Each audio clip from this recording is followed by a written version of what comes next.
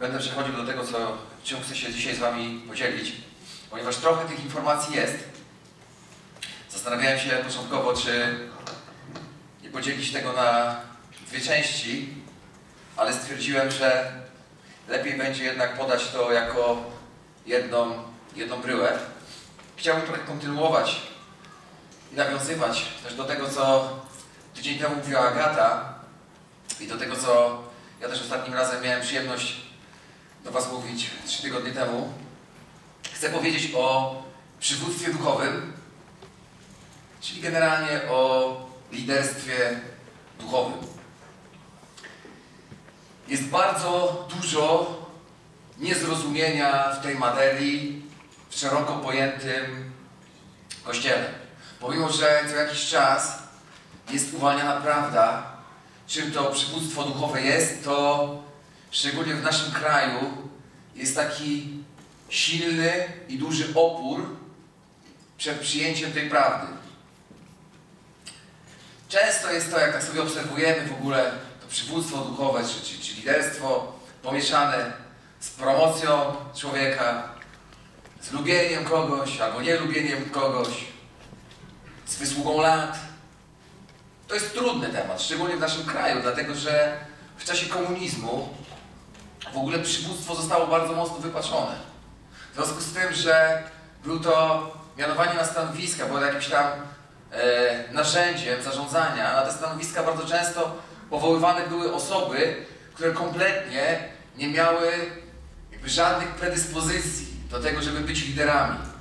I bardzo wiele osób zostało poranionych w ten sposób, bo oni mają swoje wspomnienia, swoje skojarzenia, o taki kierownik czy taki dyrektor, tak? I automatycznie nastąpił pewien bunt. Przyszł zatem pewien bunt. Dlatego dobrze jest raz na jakiś czas to wyprostować. Liderstwo, po pierwsze, to gotowość do wzięcia odpowiedzialności przed Bogiem i przed ludźmi. I gotowość do służenia innym. Jak tak popatrzymy na to liderstwo, tak naprawdę, to jest to przejmowanie odpowiedzialności, podejmowanie inicjatywy również, inspirowanie innych i zarządzanie nimi w taki sposób, aby osiągnąć cel. Będziemy dzisiaj troszeczkę się na poszczególnych elementach zatrzymywać, do nich wracać i nawiązywać. Powtórzę te kilka kluczowych elementów, które składają się na duchowe przywództwo. Branie odpowiedzialności przed Bogiem i przed ludźmi. To bardzo ważne. Nie da się tego wyeliminować. Wiecie co? Jeśli podejmuje się czegokolwiek, jakiegoś zadania, to nie jest dla mnie małe i lekkie. Przede wszystkim chcę być odpowiedzialny przed Bogiem za to. Zajmę ten teren. Wezmę to zadanie. Nie traktuję tego jako czegoś małego, płytkiego. I to po pierwsze jest odpowiedzialność przed Bogiem, ale w związku z tym, że odpowiedzialność przed Bogiem, z, z, odpowiedzialności przed Bogiem wielu osób, wielu osób robi slogan. Tak, tak, ja jestem odpowiedzialny przed Bogiem. To więc jest to też odpowiedzialność przed ludźmi. Lider, jeśli się na coś decyduje i rzeczywiście jest liderem, ponosi odpowiedzialność przed innymi ludźmi. I musi być tego świadomy. Nie ma czegoś takiego, że jest jakaś formuła liderstwa bez, bez odpowiedzialności, wręcz przeciwnie. Jakby to jest świadomość, że tą odpowiedzialność bierzemy. Dwa, podejmowanie inicjatywy. Podejmowanie inicjatywy. Lider to nie jest ktoś, kogo się w jakikolwiek sposób stymuluje. Może dana osoba, jeśli jest jeszcze w czasie stymulowania, to może to jest materiał na lidera. Może w jakiejś przyszłości będzie to lider. Lidera się nie stymuluje, ponieważ lider On wziął za coś odpowiedzialność. On po prostu jest. Robi to bez względu na to, czy ktoś to widzi, czy ktoś tego nie widzi. Czy ktoś mu bije brawo, czy ktoś mu nie bije brawa. Czy ktoś go hejtuje, czy ktoś go nie hejtuje. Podejmuje inicjatywę. Lider dalej inspiruje innych ludzi. Nie jest skoncentrowany wyłącznie na sobie. Jest dla nich inspiracją. Ja to dalej szerzej rozwinę. Lider dalej zarządza innymi ludźmi. Oczywiście na różnym odcinku czasu, miejsca, w zależności od zadania, w różnej postaci to może, może wyglądać, ale, ale zarządza. Tak? I to, co bardzo ważne, jest zawsze nastawiony na realizację określonego celu. Nie ma czegoś takiego, że ktoś czemuś lideruje i tu nie ma celu. Nie ma czegoś takiego. Liderowanie jest ściśle związane w ogóle z celem. Dalej idąc. Duchowy lider, duchowy lider, prawdziwy duchowy lider to osoba publiczna. Osoba, która świadomie wystawia się, jest wystawiona na pokaz i oceny innych ludzi. Lider, nie da się pogodzić takich rzeczy. Chcę być liderem, jestem liderem, ale chowam się w piwnicy. Jestem liderem, ale nie będę miał konta na Facebooku. Jestem liderem, ale usunę komentarze, możliwość komentowania spod moich postów, bo to mnie dotyka. Nie ma czegoś takiego. W liderstwo jest to wpisane. Wystawienie na pokaz i oceny innych ludzi. Niekoniecznie przychylne zawsze. Zobaczcie, celem samym w sobie liderstwa nie jest więc posiadanie władzy nad ludźmi. To nie jest cel sam w sobie, tak? Lecz właściwe, efektywne zarządzanie i sprawami Królestwa Bożego i tymi ludźmi. Mówię o tym, ja to podkreślam, dlatego że w naszym kraju mam takie przekonanie, że szczególnie o tym trzeba mówić. Bo wiele władzy, świeckiej władzy było i jest skoncentrowanych właśnie na tym, żeby mieć władzę, to jest cel sam w sobie. I tam nie ma nic więcej. I chodzi o to, że Kościół nie może wyglądać tak samo, powielać tego błędu, tak? Nastawienie jest na zarządzanie sprawami królestwa i na tymi ludźmi. I, i na ludźmi. Zacytuję tu pewnego Bożego człowieka ze szczytu formy kiedy był w szczycie formy, że w liderstwie nie chodzi o zdobywanie podium dla siebie, tak? ale przyjęcie odpowiedzialności w taki sposób, żeby życie innych ludzi mogło się zmienić. Cytuję to, bo to prawdziwe zdanie jest. Nie chodzi o podium. Dlatego jest tak, tak wiele niezrozumienia w tym. Wydaje się, że o, lider to ma super, tak? Stoi na podejście. Jego widać. To jest niezrozumienie liderstwa. To nie o to chodzi. To nie chodzi o tą władzę. Nie chodzi o tą pierś, żeby order ktoś przykleił. Jestem lider. Mów mi lider.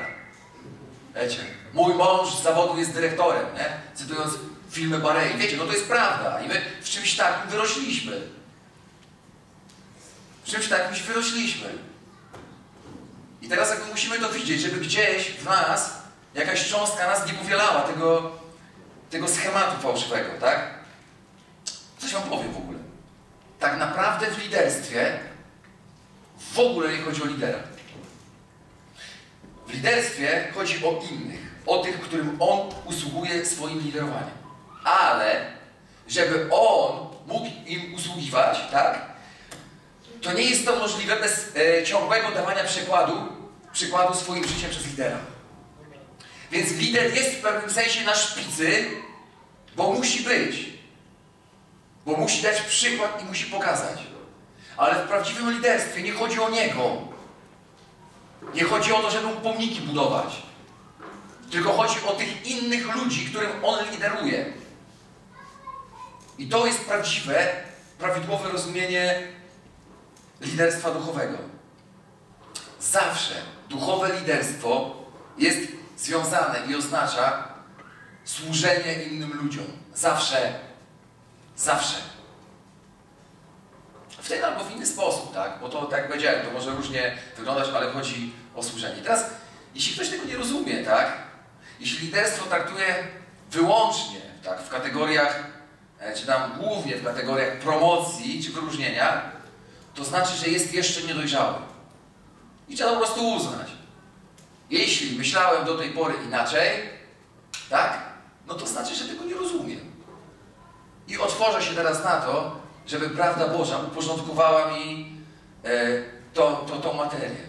Oczywiście, w pewnym sensie jest to wyróżnienie człowieka, ale nie w ludzkim rozumieniu, tylko w takim, tak, że jakby możliwości służenia innym ludzi, wzięcia odpowiedzialności za życie innych ludzi. To bardzo ważne. To bardzo ważne, żeby w ten sposób podejść, podchodzić w ogóle do liderowania jakimkolwiek zagadnieniom. Tak? Robię to w określonym celu i biorę na siebie odpowiedzialność. Ja biorę na siebie odpowiedzialność. Jeśli coś nie zadziała, to nie szukam winnych w innych osobach, bo ja wziąłem za to odpowiedzialność.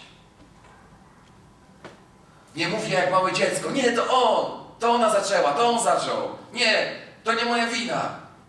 Rozumiecie? Po prostu. Odpowiedzialność. Słowo często wypierane z życia. Nie lubi się tego. Jak do orderu wywołują, to wszyscy przychodzą na galowo i czekają. Ale jak już jest kwestia jakiejś odpowiedzialności za coś, no to tak niekoniecznie. I teraz chciałbym, żebyśmy w ogóle dobrze zrozumieli powołanie do liderowania, dlatego chcę powiedzieć o pewnych dwóch płaszczyznach, bo mam wrażenie, że one w szeroko pojętym kościele zostały poplątane, pomieszane i są gdzieś tam głęboko niezrozumiane. W pierwszej księdze Mojżeszowej 1,27-28, nie będę tego teraz czytał, czytamy, że człowiek został stworzony, aby się rozradzać, rozmnażać, napełniać ziemię i czynić ją sobie poddaną. Człowiek stał się współpracownikiem Boga, miał być mu poddany i miał być mu posłuszny. Co wam chcę pokazać w ten sposób, tak? Że człowiek został stworzony, aby być zależnym od Boga, zrealizować z nim w ogóle swoje, swoje pragnienia, tak? E, wydać mnóstwo owoców i panować nad ziemią. Wszystko ok? I panować nad, nad ziemią. I teraz, z tej perspektywy, jeśli spojrzymy, spojrzymy na liderowanie, z tej perspektywy, tak, to w każdym człowieku zaszczepiony został pewien gen liderstwa, wynikający z pozycji człowieka na ziemi. Zostaliśmy powołani aby panować na tej ziemi. Więc w każdym z nas gen liderstwa jest. I to jest, to wynika z pozycji człowieka na ziemi, w ogóle zamysłu Boga, tak? Panowanie nad ziemią, różnie się przejawiające, to pragnienie naszego wewnętrznego człowieka. To jest. I to jest jednym, jedna płaszczyzna, gdzie możemy powiedzieć, że w pewnym sensie każdy człowiek tak, został powołany do na lidera, tak, do panowania nad ziemią, do objawienia przez swoje życie właśnie, przez swoje życie, tak, że jest Synem Bożym, do prezentacji siły, potęgi, mocy naszego Ojca w niebie, tak? Do prezentowania, słuchajcie, do zwycięskiego życia i jakości nieba tutaj na ziemi, tak? Do tego zostaliśmy powołani. Taki gen liderstwa jest w każdym z nas. Ale jest też druga, bardzo ważna płaszczyzna. Jest ona nieco inna.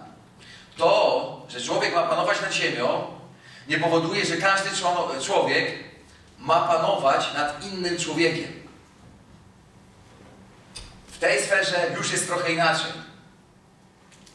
Czyli mamy panować nad ziemią, nad komarami na przykład. Ale z drugiej strony nie oznacza to, że każdy nad każdym człowiekiem panuje. Liderzy są powoływani przez Boga. I liderstwo posiada strukturę hierarchiczną. Nawiązując do tego, co mówiłem kilka tygodni temu i co będę też kontynuował. Liderstwo ma strukturę hierarchiczną. I tu mamy znowu dwa rowy, szczególnie w naszym kraju. W martwej religii, szczególnie w Watykanie, struktura stała się celem samym w sobie. Opasłe brzuchy, siedzące, głaszczące się.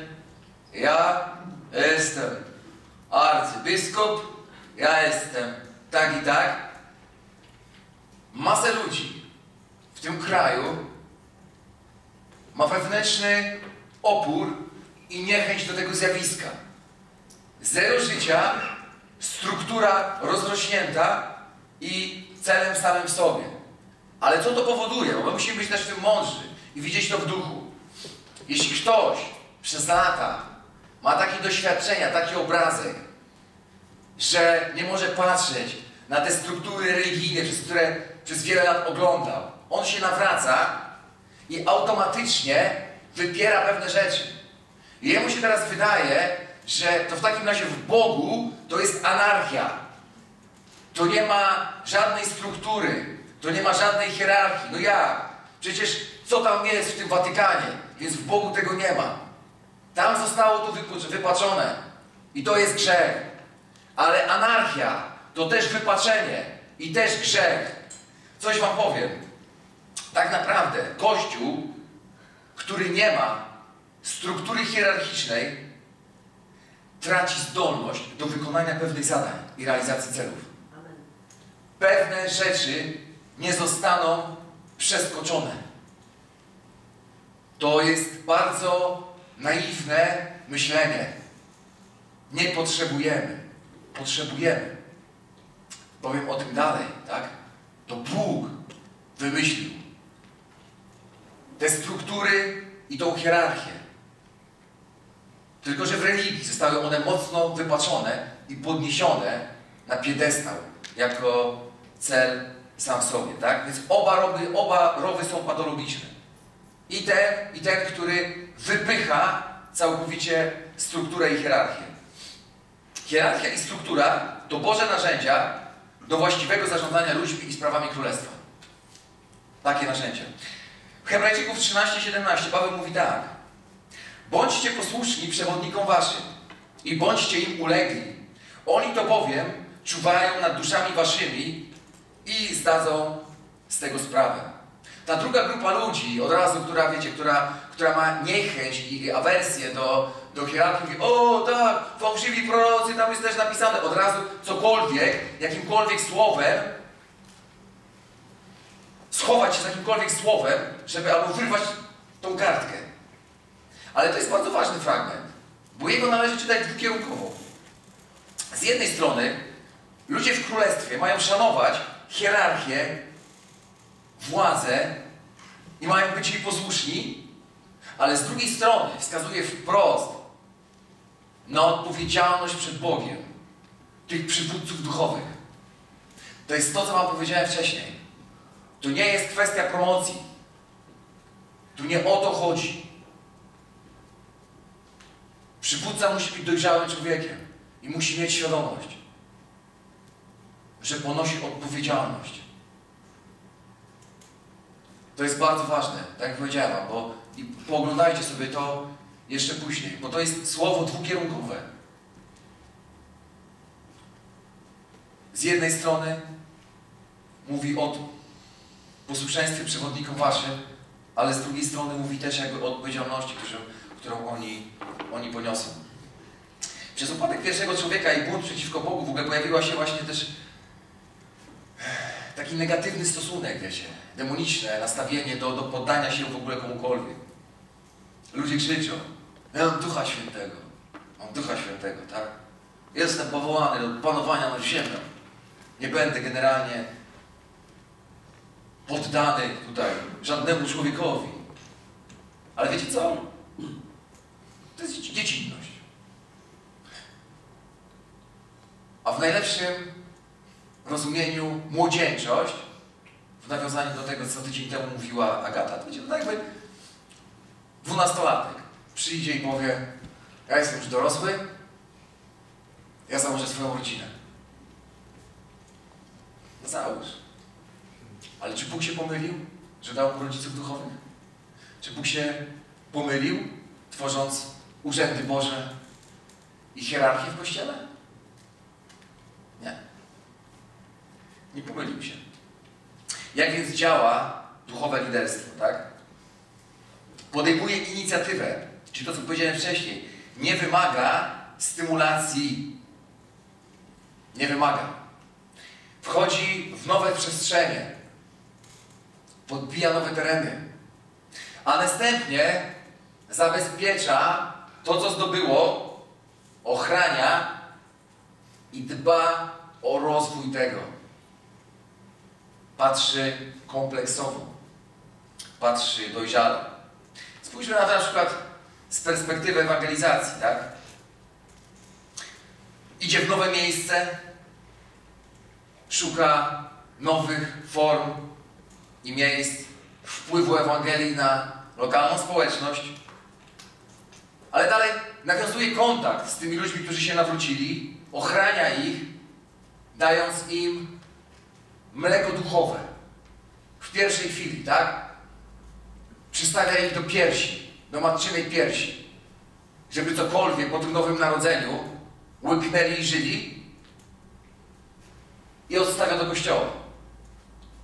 Żeby inni, tak, zadbali, zadbali o rozwój. Jest odpowiedzialny. Nie zostawi też tej owieczki samej na ulicy. Pokieruje ją dalej. Zrobi to w ramach, nawet jeśli jest, powiedzmy, tak jak powiedziałem, w przykładzie ewangelizacji. Przyprowadzenie do Jezusa to pierwsza rzecz. Ale w drugim kroku przyprowadzimy do uczniostwa. I ewangelista nie jest nauczycielem, ale doprowadza do miejsca, gdzie inny urząd w kościele przejmuje pałeczkę w biegu sztafetowym. To jest dojrzałość. Niedojrzałe jest, jeśli robi się coś tylko i wyłącznie dla promocji. Dlatego wam powiedziałem, odpowiedzialność przed Bogiem i odpowiedzialność przed ludźmi. Liderstwo, to już wiecie, to, powtórzę to, ale to wiele razy w naszym kościele padało, to jest bardzo ważne. Liderstwo jest zawsze odcinkowe. To zdolność do przeprowadzenia ludzi z odcinku A do odcinka B, bez względu na to, czego to dotyczy, tak? No, zobaczcie, to możemy dać taki przykład. Jeśli zakładam, że jest jakieś niezrozumienie w temacie duchowego liderstwa czy przywództwa, to moim celem tego nauczania jest doprowadzenie tych osób, które mają niezrozumienie, do tego, aby zrozumiały. Odcinek A jest niezrozumienie, odcinek B jest zrozumienie. Tak? Tak działa liderstwo. Podnosi coś po to, żeby uzyskać konkretny, wymierny efekt. W liderstwie nie chodzi więc tylko o wiecie, porywające nauczania czy poselstwa. Tak? To jest jakiś tam wycinek rzeczywistości. To jest wycinek rzeczywistości. Chodzi o to, żeby inni podążyli za przykładem lidera. Czyli żeby za jego przykładem przesunęli się z punktu A do punktu B. Bardzo proste. Miarą mojego liderowania w tym temacie, w tym nauczaniu dzisiaj będzie to, jak wiele osób przesunie się z odcinka A, nierozumienia dokładnie duchowego liderowania, do punktu B, do zrozumienia. To jest bardzo proste.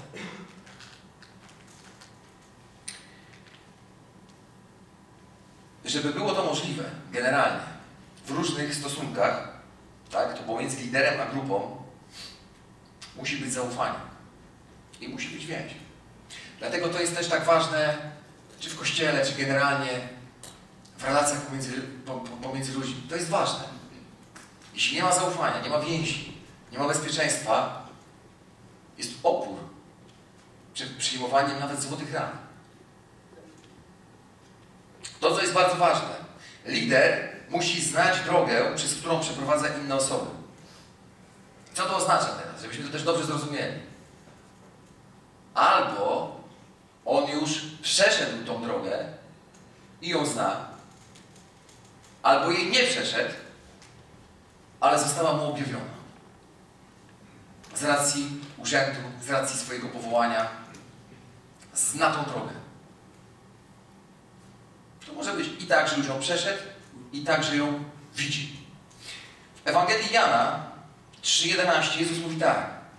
Zaprawdę, zaprawdę powiadam Ci. Kiedy Jezus mówi amen, amen, zaczyna, to znaczy wiemy, że jest to ważne. Co, co wiemy, to mówimy i co widzieliśmy, o tym świadczymy. Jest pewien tego, co uwalnia. Mówi tu nie tylko o sobie. Jest tego pewien. Lider też musi być pewien. Lider, znając drogę, widzi więcej i sięga dalej. Zna cel i widzi drogę. Lider potrafi umotywować innych, by za nim podążali. To bardzo ważna też cecha. Zawsze są przy nim ludzie, którzy chcą go naśladować. I to, co wam powiedziałem wcześniej, to jest w ogóle, to są rzeczy, których w Kościele się nie mówi. Mówię o szeroko pojętym Kościele. Miarą oceny lidera jest jego skuteczność. Tu nie chodzi o płomienne kazania. Chodzi o skuteczność. Jeśli celem, to co powiedziałem wcześniej, jest przeprowadzenie z odcinku A do odcinku B, tak? tak? To miarą oceny jest efektywność tych ludzi. W liderstwie nie chodzi o należytą staranność, ale chodzi o rezultat. Ocena jest bardzo matematyczna. Przeprowadził, nie przeprowadził.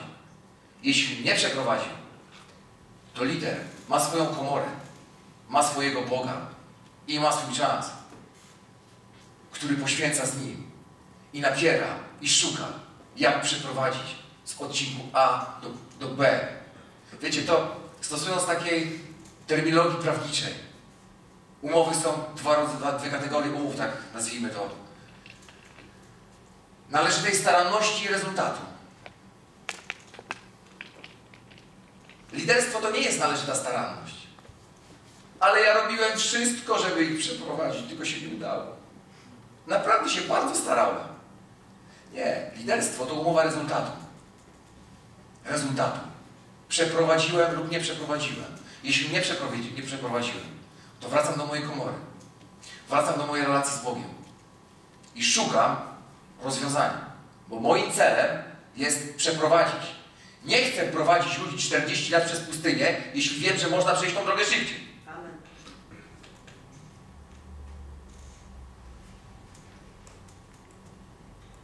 To bardzo ważne. I nie ma co szukać jakichś, wiecie, wywiasów, takich, mm, mm, nie, no ale tak, no ale przecież poświęciłem tyle czasu. Tu nie chodzi o to, to jest, to jest matematyczne. Uzyskał, nie uzyskał. To są bardzo niechciane nauczania w Kościele. Bardzo wiele osób postawiłoby zarzut, że to jest nieduchowe. To jest takie, mm, ja to się tak muszę teraz spiąć, jak ty to mówisz. Jak się musisz spiąć, to nie jesteś liderem, znaczy tego nie rozumiesz. Bo to jest prawdziwe, mówię.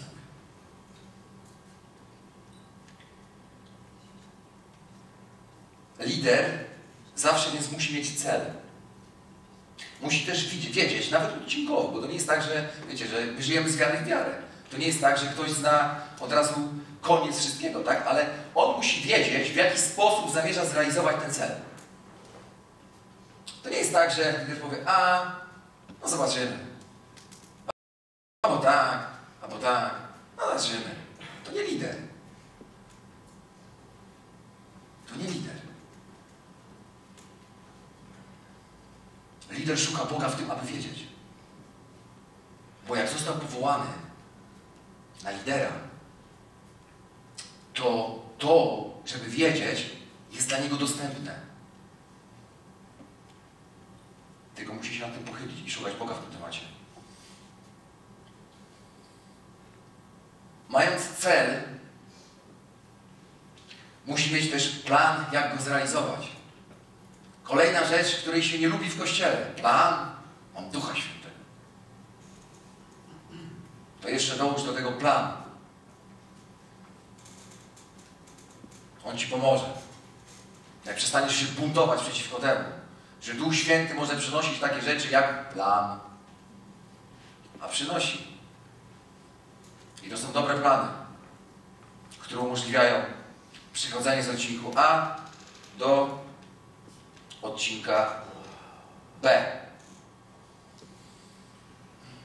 Tak więc, lider musi mieć A. Świadomość celu, czyli wie w ogóle o co mu chodzi.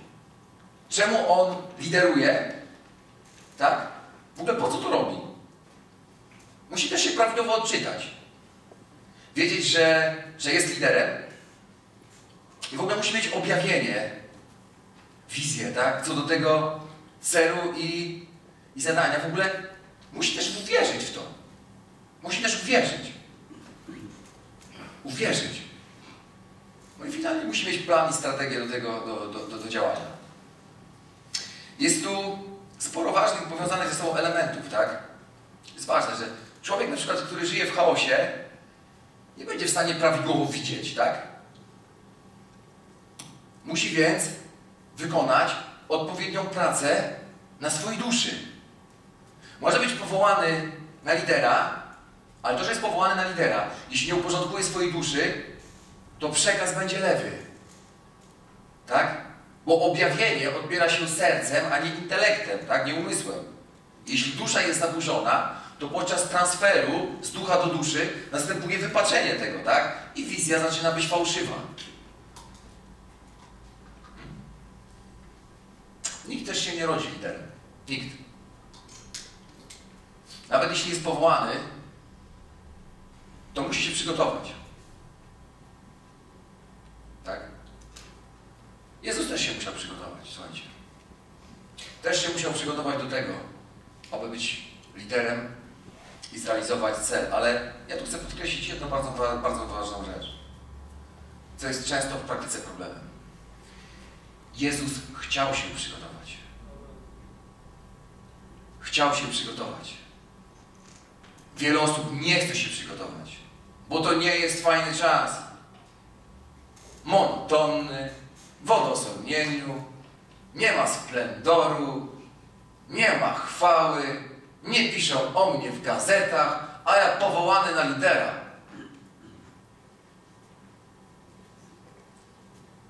Przyjrzyjcie się temu dokładnie. To jest bardzo ważne. Do 30 roku życia o Jezusie nikt nic nie wiedział. Poza tym, że był cieślą i synem cieśli. Ale on się rozpoznał wcześniej. Odczytał się wcześniej. I się przygotowywał. I szukał. Szukał Ojca. Wiecie, mamy tylko wzmianki Biblii na ten temat, tak? 12 lat siedzi w świątyni i tak rozmawia. Ale to pokazuje jego nastawienie. Chciał. Chciał. Skoro Jezus nie przeskoczył tego etapu przygotowania, to nikt go nie przeskoczy. Nikt go nie pominie. Nie ma takiej możliwości. To mrzonka. Tak więc, lider to człowiek dyscypliny. Kolejne ulubione słowo w szeroko pojętym kościele. Tak? Ale samodyscypliny, bo to co powiedziałem wcześniej, nie stymulowany przez kogoś, że nie zadzwoniłeś do mnie dzisiaj, żebym wstał o 6, to się nie modliłem. Nie lider. Samodyscyplina. Wiem, czego chcę. Wiem, dokąd idę. Wiem, o co mi chodzi. Nie potrzebuję żadnej stymulacji.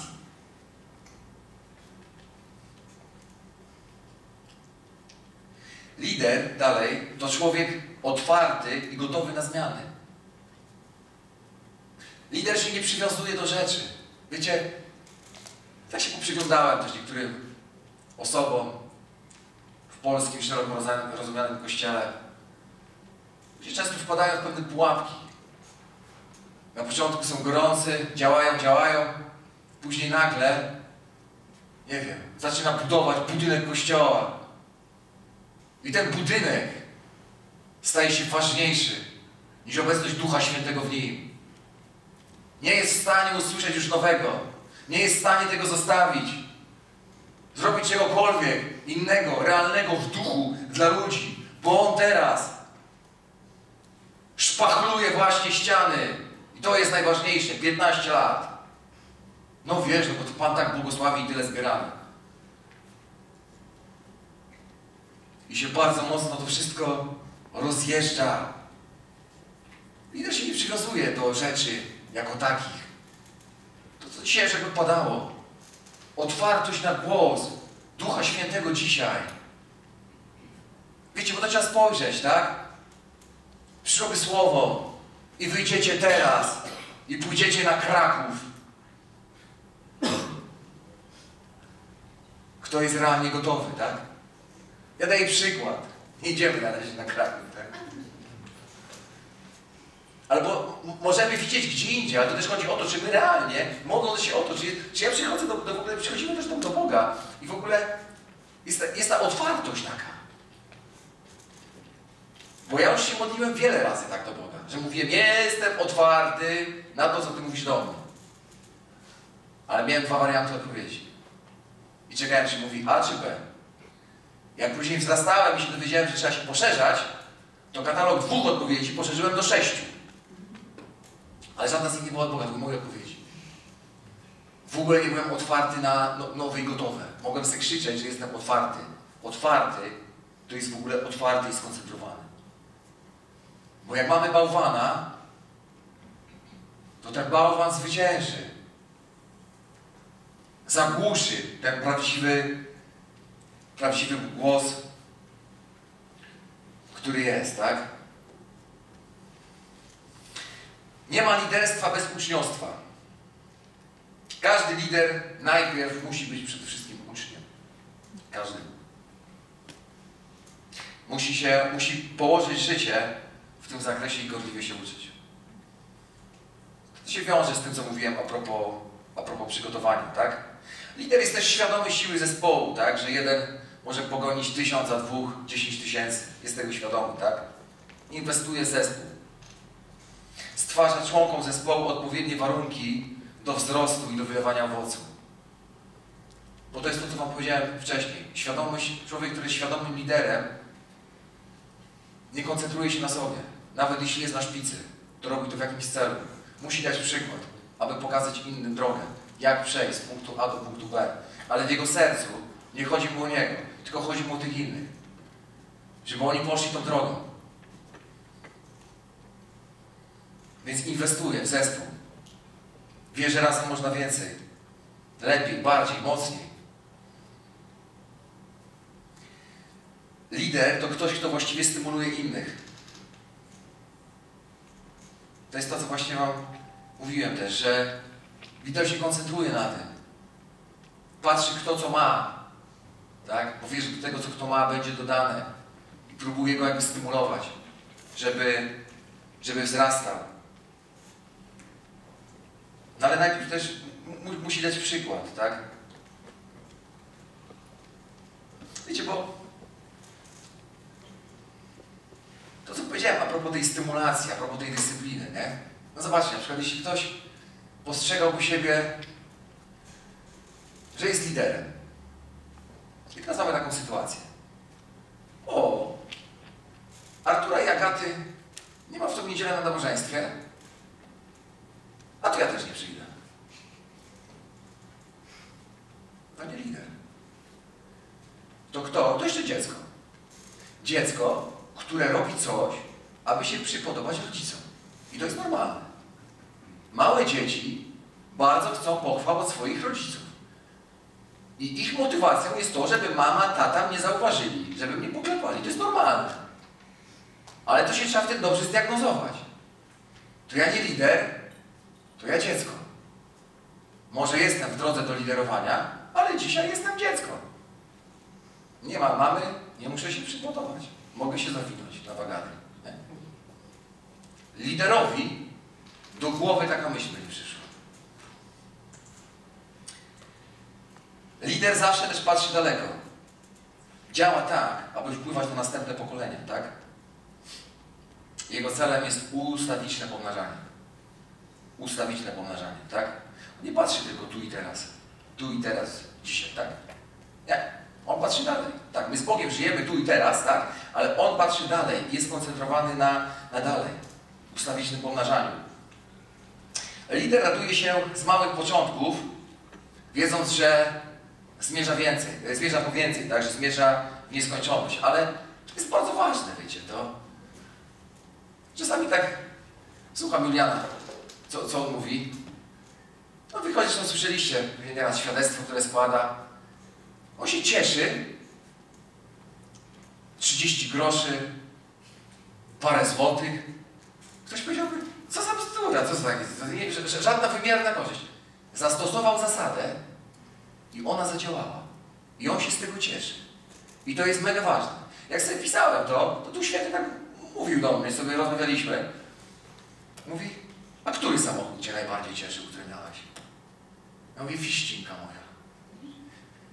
Mieliśmy jako pierwszy samochód z Julitą, Forda Fiestę, używanego oczywiście, jeszcze na gaz. I to był taki samochód, słuchajcie, w którym ja w garniturze i pantofelkach wychodziłem, żeby jechać do biura, ale najpierw Julita musiała wsiąść za kółkiem, a ja musiałem z popychu go odpalać. Tak? Biegałem wzdłuż naszego osiedla po ulicy, odpalaliśmy, po czym wsiadałem i jechałem. Ale byłem mega zadowolony, dał mi wolność, dał mi niezależność, tak? Czegoś, czego wcześniej nie, nie skosztowaliśmy. To było bardzo ważne. I teraz zobaczcie, grzechem jest, kiedy człowiek nie zauważa tych małych początków, kiedy je bagatelizuje, tak? Ale grzechem też jest, kiedy się na nich zatrzymuje.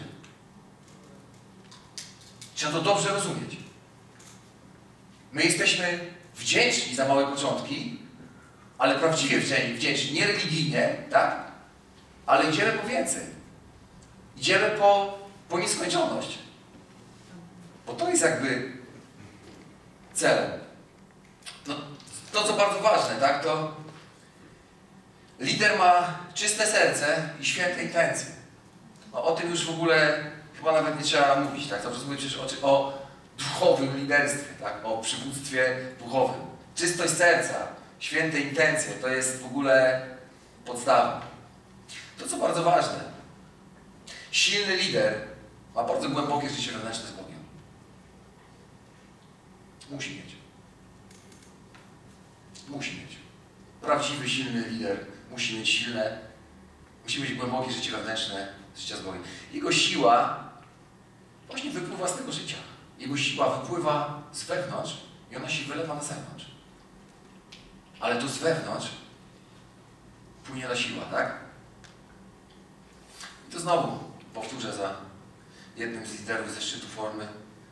To takie dobre określenie jest, dlatego powtórzę. Że stojąca woda się psuje, podobnie wewnętrzne życie bez przepływu traci sens, tak? Ono musi mieć ujście na zewnątrz. Lider to głębokie życie, które ma, to przeżywanie, tak? On później wypuszcza na zewnątrz. Dzieli się z tym innym. Dzieli się. To życie płynie dalej. Zadaniem lidera jest stymulowanie ludzi, aby zbliżyli się do Jezusa tak, jak to tylko możliwe, tak? Non stop. Czyli co, o co chodzi przede wszystkim, tak? O świadomość zjednoczenia z Bogiem, tak? Ja należę do mojego miłego, a mój miły należy do mnie. Świadomość zjednoczenia z Nim. Lider zdąża, czy podąża, znowu jedno i drugie, do nieba i musi, musi nauczyć tego następne pokolenia. Lider nie jest z ziemi. Lider chodzi po ziemi. Gdyby Jezus wierzył, że jest z ziemi, chodząc po ziemi, to nigdy by nie poszedł na krzyż.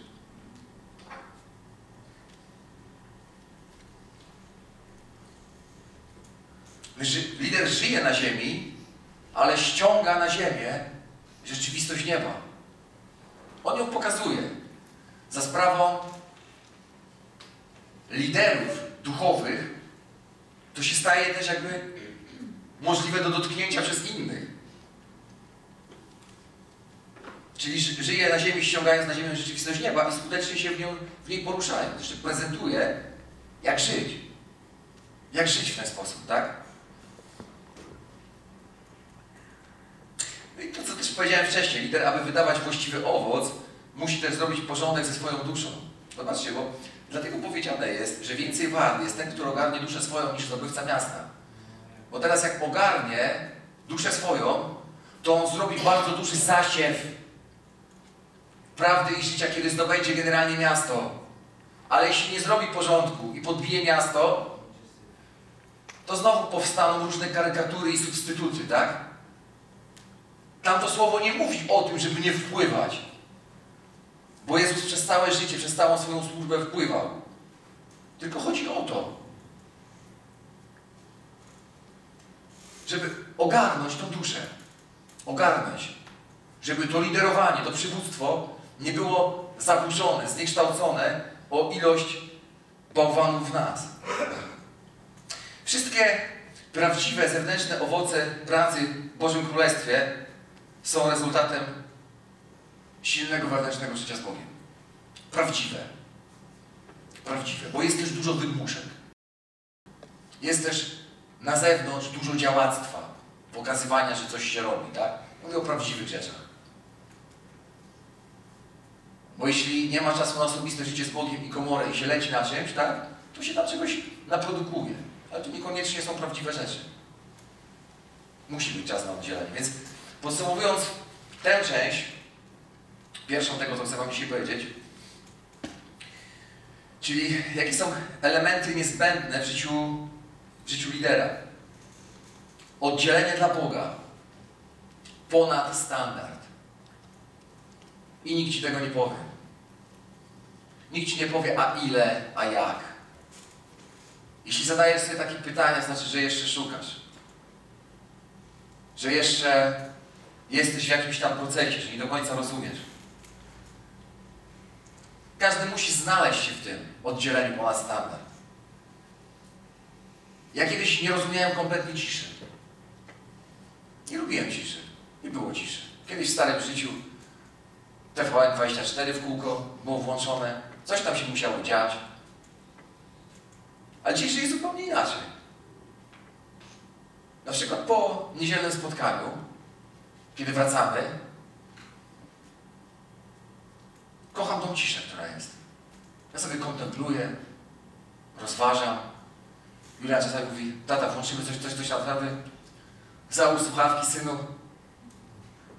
Ja nie, ja chcę teraz ciszę.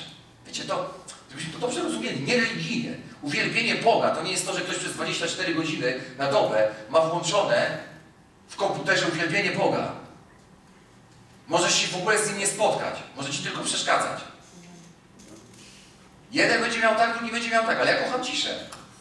Ja w tej ciszy tak go mogę uwielbić, że tam fruwam i tańczę przed nim.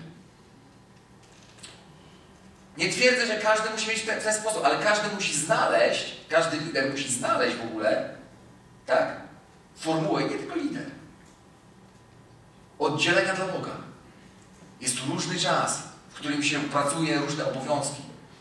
W każdym przypadku, każdy człowiek ma możliwość być oddzielony dla Boga.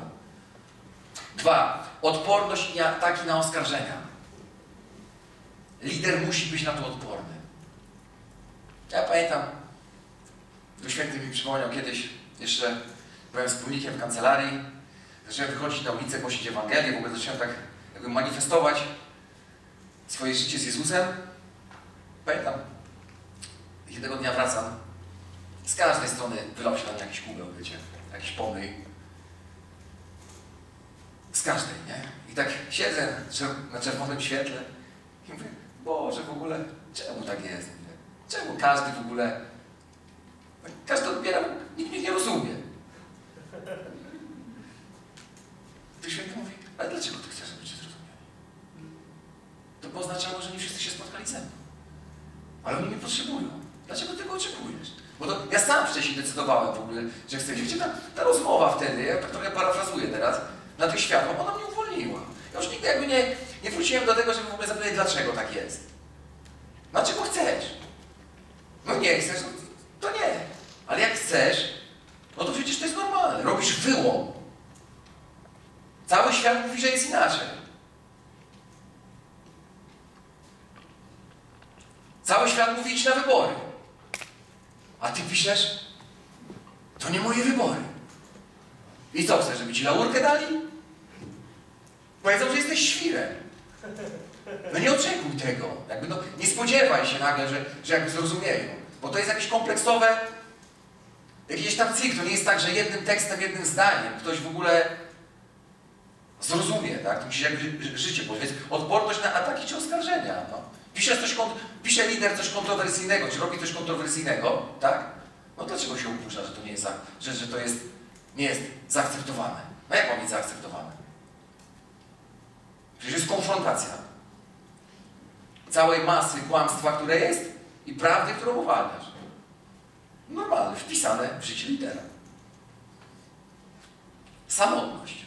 Punkt 3. Realna samotność. Lider musi być gotowy na to, że nikt go nie zrozumie. Że będzie sam. Nie każdy tego chce. Że nie znajdziesz sprzymierzeńca. Że nie znajdziesz intelektualnych argumentów, żeby przekonać tych ludzi. Po prostu będziesz sobie siedział, ty był święty, no i wiesz, że masz rację. No i ci wytykują palcami, mówią, że nie. No ale no, nie, nie, nie, możesz czuć się w jakiś... Lider nie może być w tym jakiś odrzucony. Musi to zrozumieć. To jest wpisane w cenę. Samotność. To są, słuchajcie, ważne rzeczy i głębokie. Bo wrócę do tego, co mówiłem na początku. Jeśli patrzeć na, na, jako na wystawienie piersi po order, tak? No super. Bycie liderem. Czy chcesz, czy jesteś gotowy być samotny? Że najbliższa osoba, która ci powie, tak, miałeś rację, to będzie twoje osobiste spotkanie z Jezusem, jak pójdziesz do nieba. Bo może tak być. Ja nie twierdzę, że tak, ma, że tak będzie. Może będą jednostki, które cię zrozumieją. Ale lider musi być gotowy, że, że ich nie będzie. I to nie może mieć wpływu. Pomyliłem się, czy się nie pomyliłem. Lider musi wiedzieć, tak jak powiedziałem, musi znać drogę, dokąd idzie. Zobaczcie, jak dużo czasu musi spędzić w komorze. Jak dużo czasu musi spędzić w ogóle przed Ojcem. Krzywo na mnie spojrzał. Może nie o to chodzi. Jakoś tam nie, nie wiem, jaką miał minę. Wiem, co uwalnia. Życie pełne wiary, no to oczywistość. To są rzeczy, które się mega z tym wiążą, tak? Nie da się być liderem, duchowym liderem, słuchajcie, i nie żyć z wiary. To jest niemożliwe. Ja w ogóle sobie, nie, nie jestem w stanie sobie tego wyobrazić nawet. Niemożliwe to jest. Pięć, to co mówiłem. Gotowość na ciągłą zmianę non-stop. Czyli na poziomie serca, nie możemy być zabetonowani. Że zbudowaliśmy sobie już kościółek, zbudowaliśmy sobie już naszą grupkę, zbudowaliśmy sobie już, to jest tak fajne, ale to 20 lat budowałem, nie zabieraj mi teraz tego. Sekundę lider jest w stanie się z tym rozstać, żeby pójść po więcej. Oczywiście cały czas mówię o prawdziwym przywództwie duchowym, które rozpoznaje głos Ducha Świętego tak prawidłowo. Pasja dla Jezusa. Żeby tak żyć, trzeba być pasjonatem dla Jezusa. Pasjonatem. Pasjonatem. Bo wszelkie okoliczności z zewnątrz będą na nie. Wszelkie naciski będą na nie. Trzeba być pasjonatem. Trzeba planować i być strategiem. Lider musi być, musi planować i być strategiem. Dalej. Kolejne niezbędne elementy. Aktywne działanie. Czyli z Boga, zgoda z Bogiem i objawieniem celem, pragnieniami, które są w nas, tak? Bez względu na okoliczności, tak? Idę, robię, biorę odpowiedzialność przed Tobą, tato, i przed ludźmi, których pociągnę za sobą w tym temacie. Dalej, twórczość i kreowanie. Powołanie do bytu to, czego nie ma. Nie rozglądanie się, powstanie, nie powstanie. Okej, okay. odbieram słowo od Ciebie, staję w miejscu teraz. W rzeczywistości Elohim i powołuję do bytu. Stwarzam coś. Biorę za to odpowiedzialność. Na podstawie relacji z Tobą. Określam, jak to ma wyglądać. Tak budowali świątynię. I tak dzisiaj się buduje. W ten sam sposób. Położenie swojego życia w posłuszeństwie i miłości. To jest jasne, bo nie da się inaczej. No i naśladowanie Jezusa, tak? To są te elementy niezbędne. Dobra, i to była pierwsza część. O drugiej postaram się powiedzieć trochę szybciej. One są połączone. Dotyczy, dotyczy to już hierarchii w Kościele. Kościół musi być odpowiednio zorganizowany. Stanowi on pewną strukturę, w której występuje hierarchia. Chcę, chcę żebyście sobie przeczytali na spokojnie, później też, Ewangelię Mateusza 24, 45-47. Jezus mówi tak. Kto więc jest tym sługą wiernym i roztropnym, którego Pan postawił nad czeladzią swoją, aby im dawał pokarm o właściwej porze. Szczęśliwy usługa, którego Pan Jego, gdy przyjdzie, zastanie tak czyniącego. Zaprawdę, zaprawdę opowiadam Wam, że postawi go nad całym mieniem swoim. Co tu widzimy? Po pierwsze, lider to sługa, który ma swojego Pana. Sługa i ma swojego Pana. Jeśli ktoś nie spełnia tej funkcji, nie jest liderem. Powołanie lidera jego pozycja w hierarchii podchodzą od jego Pana, od Boga. To Pan postawił go nad czeladzią swoją. Powołanie na lidera jest powołaniem od Boga. Celem tego liderowania jest służyć innym i dostarczać pokarm o właściwej porze. Lider, zobaczcie, lider wie, co ma robić. Służy innym, dostarcza pokarm o właściwej porze. Komu mleko, komu mleko. Komu stały pokarm, temu stały pokarm. Komu dwa razy dziennie, temu dwa razy dziennie. Komu trzy razy dziennie, temu trzy razy dziennie. To jest ważne, więc wiem. Wiem. Nie chodzi po omacku. I lider za swoją wierność otrzymuje awans.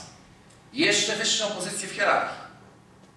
Tak. Są awanse w Bożym Królestwie. Diabeł zawsze będzie próbował uderzać w liderstwo, aby zatrzymać wpływ i skuteczne zarządzanie Kościoła. Zawsze. Dlatego tak słabe jest rozumienie liderstwa w naszym kraju też. I to, co jest bardzo ważne. Ważne jest to, aby reszta Kościoła nie spółkowała z diabłem w tym temacie, przeciw, występując przeciwko liderom. Rozumiecie, o czym mówię? Jak lider się potknie, jakikolwiek lider, diabeł zrobi wszystko, żeby postawić to na świeczniku. Żeby to był temat numer jeden w kościele. Żeby wszyscy tym żyli. To jest duch Hama. Mamy nie spółkować z diabłem. Mamy obnażać jego strategię i je niszczyć. Mamy działać w duchu mądrości. Tu bardzo ważne są w ogóle dwa kierunki. Z jednej strony liderstwo ma wyznaczać wysoki standard. Jeśli coś nie działa w kościele, to pierwsi powinni diagnozować się liderzy. Liderzy powinni się diagnozować. Dzieje apostolskie 20-28. Miejcie pieczę o samych siebie, to jest punkt jeden, i dwa, o całą trzodę, wśród której was Duch Święty ustanowił biskupami. Ale w pierwszej kolejności miejcie pieczę o samych siebie. I to jest jakby jeden, jeden kierunek. Ale z drugiej, to jest przytoczony przeze mnie wcześniej Hebrajczyków 13-17. Bądźcie posłuszni przewodnikiem waszym i bądźcie im ulegli. Duch Jezusa to duch posłuszeństwa. Jezus był posłuszny Ojcu we wszystkim. I duch Jezusa to jest duch posłuszeństwa. A prawdziwe posłuszeństwo jest ściśle związane z wiarą. To jest prawdziwe posłuszeństwo. Na pułapie wiary. Na pułapie wiary.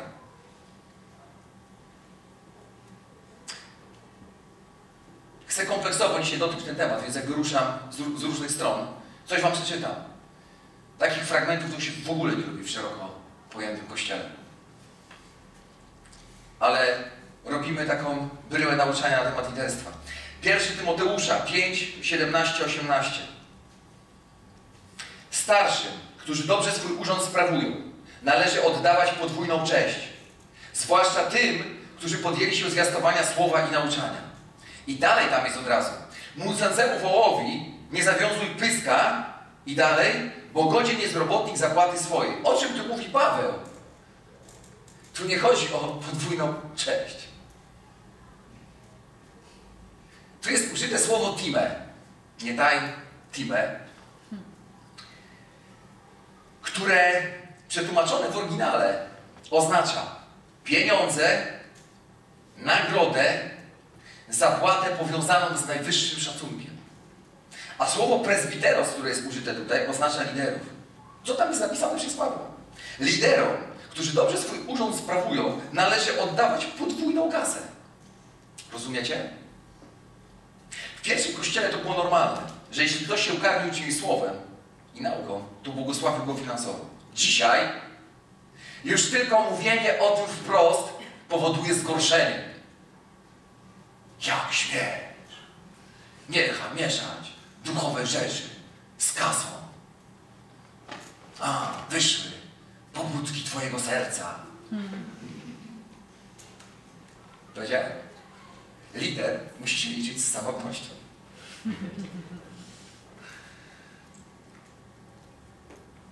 Diabeł powykręcał wszystko, a Kościół dał się wpuścić w maliny w tym temacie. W maliny. Dzisiaj starszych lider, liderów ma się często w nosie. Już nie mówiąc w ogóle o błogosławieństwie jakimkolwiek finansowym czy coś, ma się ich w nosie.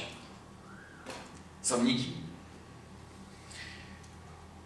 Pokażę Wam też teraz dwie strony medalu. Jeszcze innego zagadnienia. Prawdziwy lider i sługa Boży nigdy nie będzie oczekiwał, żeby spadał mu hołd i mówił do niego per jaśnie Panie. Amen. Bo Jezus nigdy tego nie oczekiwał. Ale, coś Wam powiem teraz. Prawdziwy uczeń, rozumie, rozumiejący znaczenie liderstwa i relacji mentor-uczeń, bez względu na bliskość tej relacji, zawsze będzie podchodził do mistrza z prawdziwym szacunkiem. Zawsze. Coś Wam powiem. Możesz być bardzo blisko z Bogiem, ale zawsze On będzie Bogiem, a nie ziomalem. Zawsze. Możesz Go bardzo dobrze już znać. Być bardzo świadomy zjednoczenia z tego z Nim. Ale jeśli rośniesz prawidłowo, to On jest Bóg, a nie ziomal. Nie koleżka. Jakiś tam. Dwunastu apostołów bardzo różnie zwracało się do Jezusa. Mówili do Niego mistrzu, mówili do Niego nauczycielu. Oni w ten sposób oddawali Mu szacunek. I teraz, bo wiem, że diabeł lubi wykręcać takie słowa, więc podkreślę to wyraźnie i wprost. Oczywiście nie mówię tutaj o tytulatu, tytulaturze i wejściu w system prawa. Nie o tym tutaj mówię. Ja spotkałem już w swoim życiu pastora, który kiedyś publicznie z powiedział, że ludzie mają się zwracać do niego pastorze, tak? Bo coś tam, coś tam. To patologia. Z jego strony. Ja mówię o, o drugiej zupełnie stronie. Mówię o, nie o liderze, tylko o szacunku, który powstaje na poziomie serca. Tylko wtedy to jest prawdziwe. Tu nie chodzi o to, jak się zwracasz, tak? Tylko o to, czy w Twoim sercu jest szacunek do liderów. Szacunek tworzy się na pewnych głębokościach Bożych. Na, płytko, na Bożych go nie ma. i tam się go nie znajdzie. Bo tam są zupełnie inne rzeczy. Tak jak na płciźnie. Po kostki się można zanurzyć. Żeby znaleźć szacunek, trzeba trochę wyjść głębiej. Trzeba już trochę ponurkować. Żeby go prawidłowo zrozumieć. Podkreślam, nie w religijny sposób. Nie w formie jakiegoś prawa. To ja teraz pójdę i dam stówę i powiem dzień dobry, tam pastorze. To jest bzdura. To diabeł od razu, który wy, wypacza wszystko i znaczy, że ludzie nic nie rozumieją, tak? Ja się odwołuję, mówiąc to do odrodzonych duchów. Do głębokiego zrozumienia. Do szacunku w sercu, który jest. I tego, jak diabeł próbuje odkręcić prawdziwe rzeczy. Czyli trzeba szukać tego szacunku w swoim wzroście, w swojej komorze, tak? Aby nie przyjął on postaci właśnie jakiejś religijnej formy, bo to w ogóle nie o to chodzi. Urzędy Boże. Tak króciutko powiem. Chciałbym, abyśmy teraz tą hierarchię w Kościele spojrzeli dwojako.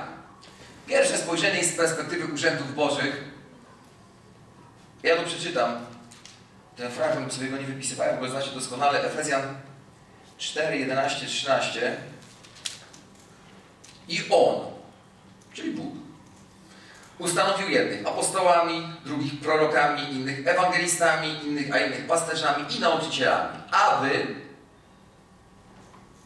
takie słowo, które też się często zjada, aby przygotować świętych do dzieła posługiwania, do budowania ciała Chrystusowego, aż dojdziemy wszyscy do jedności wiary i poznania Syna Bożego, do męskiej doskonałości i dorośniemy do wymiarów pełni Chrystusowej. Tu jest określone, kto dał urzędy i po co je dał. To jest bardzo ważne.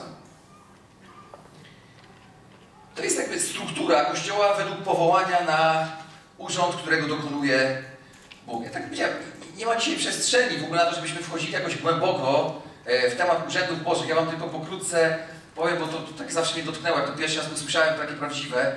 E, Większość z Was już to zna. To jest to objawienie a propos pięciu urzędów i palców u ręki, tak?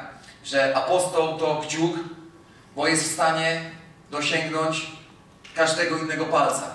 W zależności od potrzeby i miejsca, tak? Apostoł jest w stanie być ewangelistą, jest w stanie być e, e, pasterzem, jest w stanie być nauczycielem, jest w stanie być prorokiem i też jakby w różnych jakby konfiguracjach.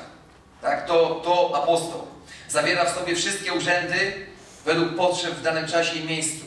Apostoł to budowniczy. Zawsze coś buduje, ale buduje silne jednostki. Bo my oczywiście nie mówimy tutaj o murach. Budowniczy to nie murarz. Jest taka różnica w duchu. Murarz to murarz, a budowniczy to budowniczy. Apostoł to budowniczy.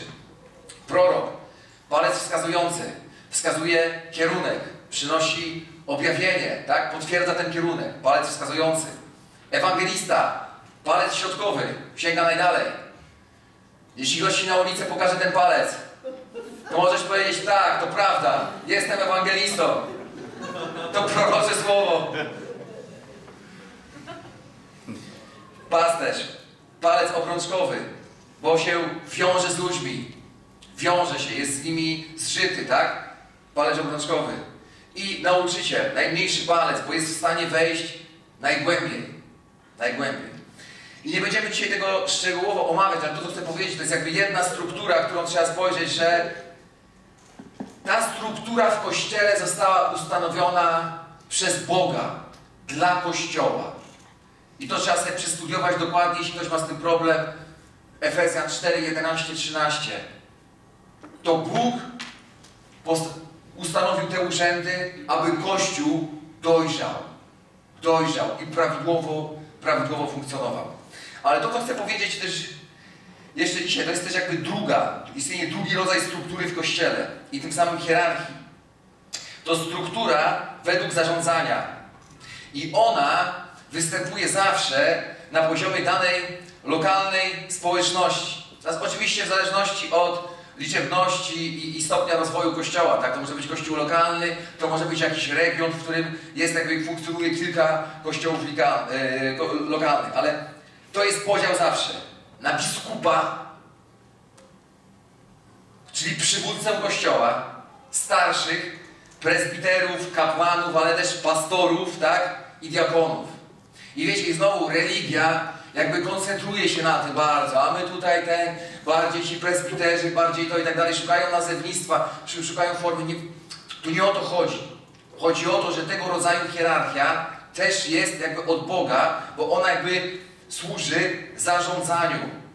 I teraz tak, na czele każdej społeczności staje zawsze jeden przywódca.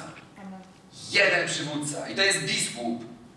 I bez względu na to, czy zarządza jednym kościołem, czy wszystkie kościoły, re... czy wszystkimi kościołami w rejonie, tak? Biskup jest jeden. Bis... I teraz chcę, żebyście zobaczyli pewne zależności.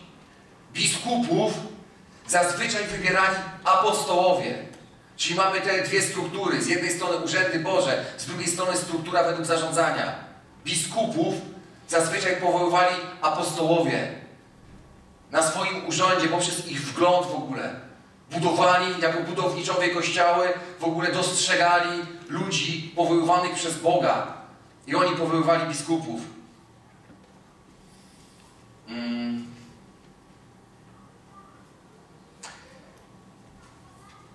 Wiecie, chcę Wam też pokazać jakby pewne zależności, bo to dobrze jak się człowiek w ogóle odczytuje, żeby też jakby to rozumiał, tak? Ja się odczytałem. Ja zaczynam pewną, pewną przygodę z Bogiem. Zaczynam swoją, swoją służbę, ona będzie, będzie działać. Na pewno nigdy się nie wycofam. I może być tak, to oczywiście nie jest cel sam w sobie, to jest jakiś tam wynik. Że na przestrzeni lat założę tysiące kościołów, powołam tysiące biskupów, ale w tym kościele będę w cudzysłowiu tylko starszym, bo biskup jest. Rozumiecie to? Chodzi o to, że jest dużo niezrozumienia właśnie w tych materiach. Ktoś może być ewangelistą, ewangelizować miliony ludzi na całym świecie, ale on nawet nie będzie liderem w swoim kościele. Bo liderowanie jest ściśle związane z tym, co powiedziałem. On jakby zupełnie jakby inne rzeczy w ogóle robi. I to nie jest teraz tak, że przez wysługę lat czy czegoś on będzie teraz, nie wiem, biskupem. No nie będzie. Nie będzie. Jest jeden przywódca, tak?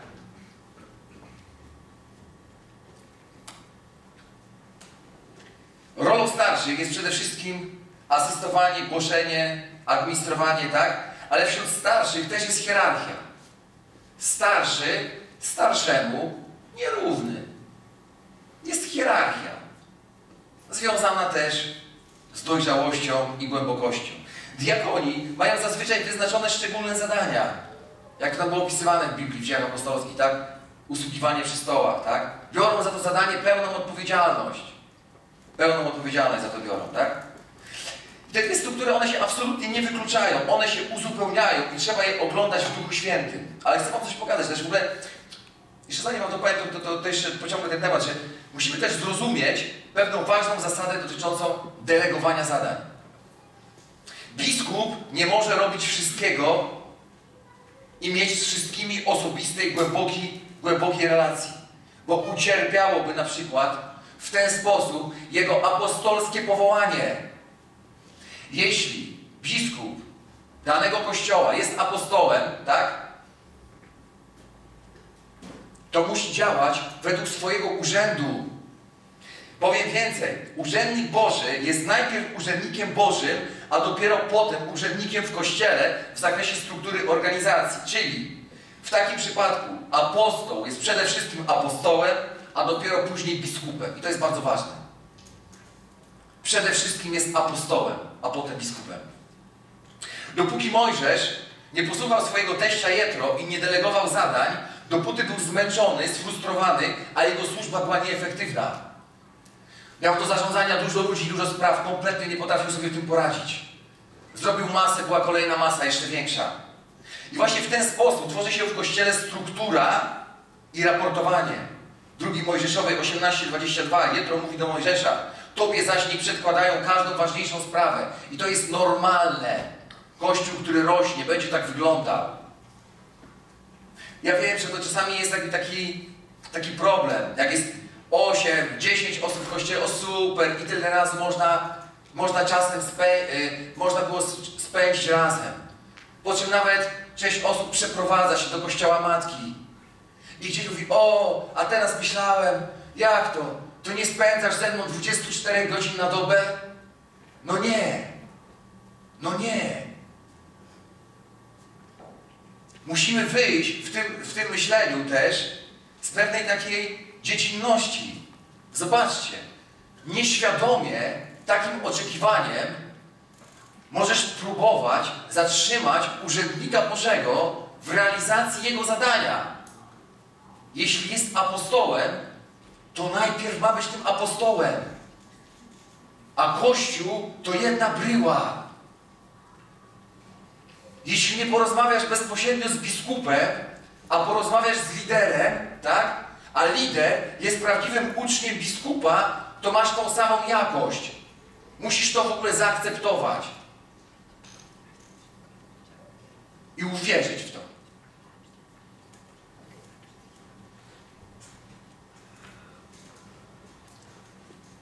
Jeśli ktoś miał pretensje właśnie do biskupa dostarczyć, że nie poświęcają wystarczająco dużo czasu, tak?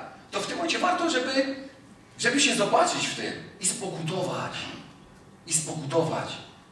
Jako Kościół przebudzeniowy, jako ruch, który ma wpływać na ten kraj i nie tylko. My sobie nie możemy pozwolić na nierozumienie takich rzeczy. Nie możemy sobie na to pozwolić.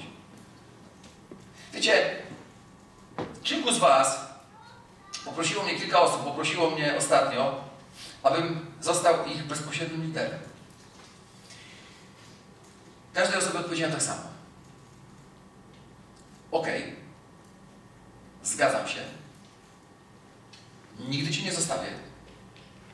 Nigdy Ci nie opuszczę. Będę cały czas z Tobą. Ale w związku z tym, że odczytałem się, jestem na jakimś odcinku, wiem co robię, dokąd idę, życie ze mną jest bardzo szybkie. Bardzo szybkie. I musisz za tym nadążyć. Jeśli Twoja postawa serca będzie właściwa, to ja będę cały czas z tym w Tobą. Ale uwierz mi, będzie bardzo dużo pracy domowej. Będzie dużo pracy domowej do odrobienia, żeby lecieć. Rozumiecie? Jeśli bym zrobił inaczej, ucierpiałoby to, co odebrałem od Boga. I to duchy kłamliwe często i religijne przychodzą i wykręcają. Jak to? Przecież chodzi o człowieka. Oczywiście, że chodzi o człowieka. Ale Jezus ciągle szedł. Chodźcie, chłopaki i dziewczyny. Chodźcie. Idziecie, nie idziecie, kto jeszcze zostaje? Nie grzebał się sto razy. O, wstałeś dzisiaj rano, chce ci się iść ze mną? U Jezusa była ok. Ale jak śmiesz, jak lider, ty jesteś niemiłosny. Jestem bardzo miłosny. Jestem bardzo posłuszny słowu, które odebrałem od mojego ojca. Idę je idę je robić. I kończąc już, Jezus, najlepszy wzór lidera. Jezus był zorientowany na cel. I to nawet cele, które były też odcinkowe, tak? Dawanie przykładu. To był cel. I dawał ten przykład. Wychowywanie następnego pokolenia. Wziął sobie dwunastu, tak? I tłukł im do głowy. I dawał przykład. To był cel. Wiedział, że odejdzie, Ktoś musiał nieść to dalej, tak? I celem było też zbawienie ludzkości. Cały czas był skoncentrowany na celu. Był absolutnie świadomy swego powołania i swojej tożsamości. Wiedział, po co jest na ziemi, co ma zrobić i dokąd zmierza, tak? Był nastawiony na tworzenie uczniów, którzy jego dzieło życia, informacje o nim zaniosą później na krańce ziemi, tak? Głosił do nich, nauczał ich, był dla nich przykładem do naśladowania, tak? No i wysyłał ich na poligon. Na poligon życia, tak? Miał postawę serca sługi i jednocześnie czuł się odpowiedzialny za wyszkolenie swoich uczniów, tak? I ostatnie, bardzo ważne, był wiarygodny. Jego życie wyglądało tak, jak jego nauki. Każde jego słowo można było zobaczyć, zobaczyć w jego życiu. Celowo chciałem powiedzieć Wam to dzisiaj razem, bo wiem, że jest dużo niezrozumienia i że są pewne demoniczne naciski na ludzi w kwestii liderowania. Chciałbym, żeby, żebyście mogli się przejrzeć też w tym, tak? Czym to liderowanie jest? Do czego ono służy w ogóle? I z czym się wiąże? Stańcie, pomodlimy się.